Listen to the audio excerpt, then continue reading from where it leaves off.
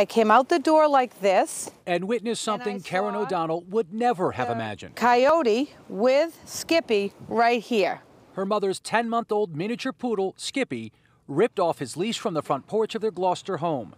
He was literally in the mouth of the coyote. O'Donnell says the coyote was the size of a golden retriever, and once it let go of the overmatched dog, set its sights on her three different times. The coyote came right at me. He was sitting right there. So I ran over here. I had to get inside of the car like this. The coyote came back for a second time, so I had to get in the car yet again. Then I came out this side, came out of the car, yelled up to my mother. Skippy's jaw was shattered, as were his ribs. Injuries so grave, the family said it had no choice but to put their pet down. See him come back like that, it was horrible. Coyotes aren't uncommon here, says O'Donnell.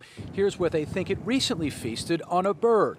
Her primary concern is her family from an animal far too comfortable around them. It has absolutely no fear to the humans. Tonight, that fear belongs to the humans.